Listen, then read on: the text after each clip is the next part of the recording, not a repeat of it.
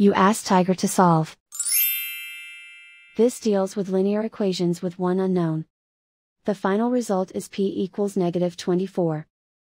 Let's solve it step by step. Simplify the expression. Multiply the fractions.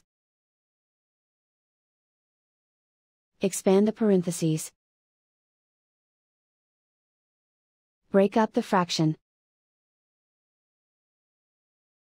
Find the greatest common factor of the numerator and denominator.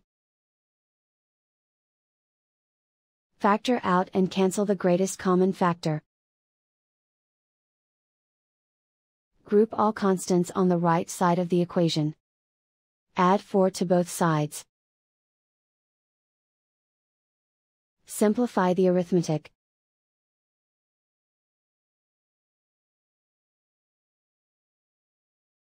Isolate the p. Multiply both sides by 4. Group like terms. Multiply the coefficients. Simplify the arithmetic.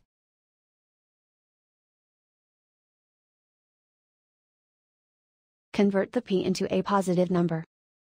Multiply both sides by negative 1.